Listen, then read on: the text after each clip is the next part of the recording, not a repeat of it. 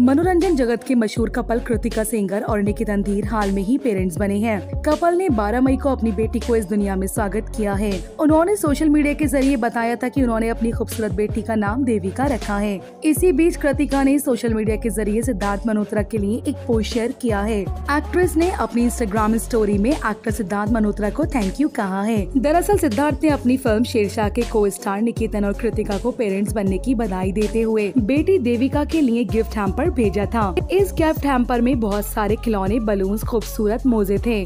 अब इससे खूबसूरत और प्यारा गिफ्ट क्या होगा? कृतिका ने अपनी बेटी के लिए भेजे इसी गिफ्ट के लिए बॉलीवुड एक्टर सिद्धार्थ मल्होत्रा का शुक्रिया अदा किया है। बता दें कि कृतिका और निकितन ने साल 2014 में अरेंज मैरिज की थी। शादी के बाद ही कपल अपनी ज़िंदगी और काम में बिज़ी था। लेकिन महीने भर पहले कपल ने पेरेंट्स बनने की खुशी अपने फैंस के साथ शेयर की।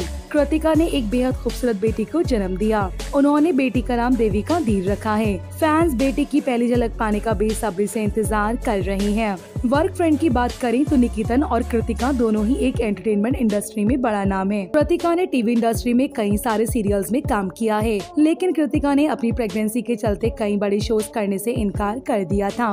वहीं दूसरी तरफ़ निकितन बॉलीवुड और साउथ इंडस्ट्री की फ़िल्मों में नज़र आ चुके हैं।